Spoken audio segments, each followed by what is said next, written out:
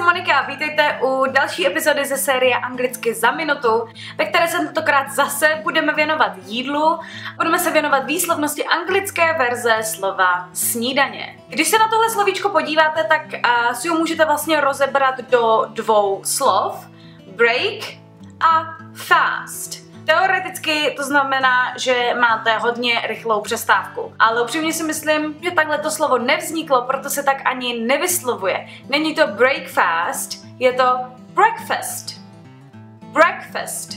Breakfast. Pokud máte nějaké slovíčko, jehož výslovnost vám dělá problémy, tak mi ho nezapomeňte napsat dolů do komentářů a třeba se to objeví v jedné z dalších epizod.